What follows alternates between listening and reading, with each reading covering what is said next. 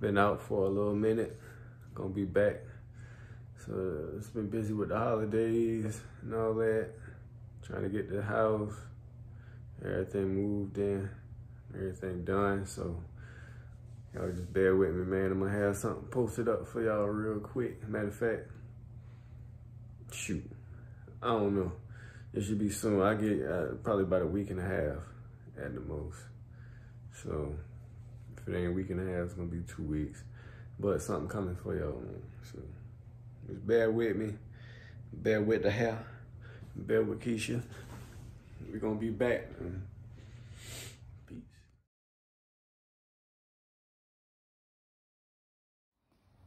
Mm-hmm.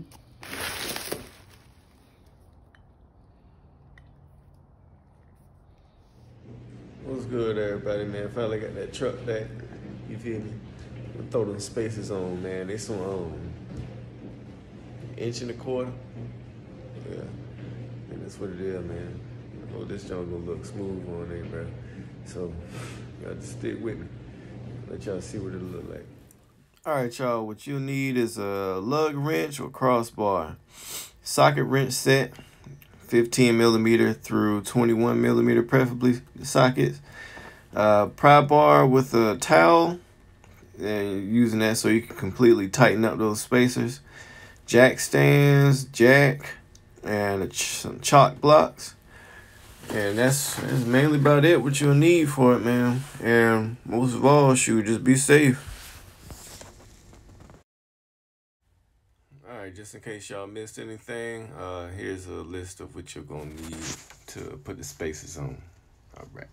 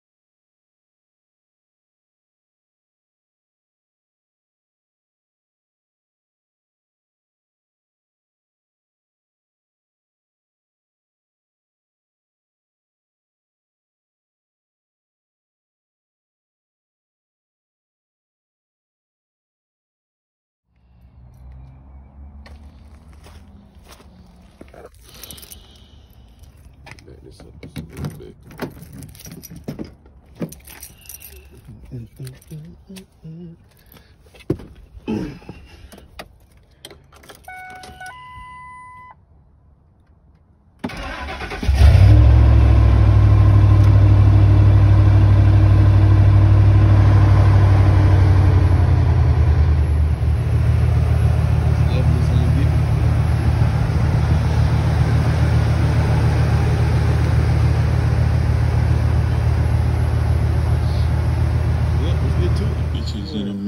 Got them uh, all separated. We about to see what it is. Oh, we in there. Let's get it. Hmm. Alright,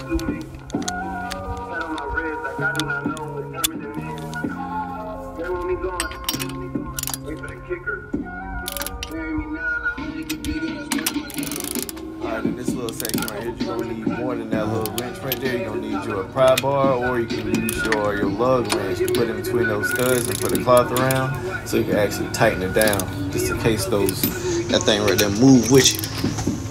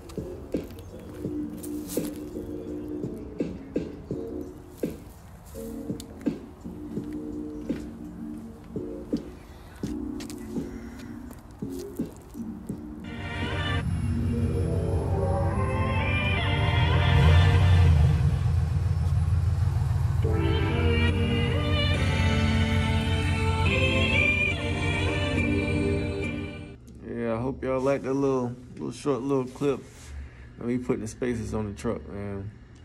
Came out looking real nice. You know, poking out just a little bit. Got some got some hips on it now. Shoot, so next little little video, man. I'm uh lower the truck a little bit, man. Take a little bit of height off, but not because I want to, but it's just time for me to switch the stuff out. You feel me? I'll check back with y'all in a little bit, man. Comment, like, subscribe, man. Leave me some leave me some feedback on what you want me to do. You feel me? So all right. Till next time. Might get back to work.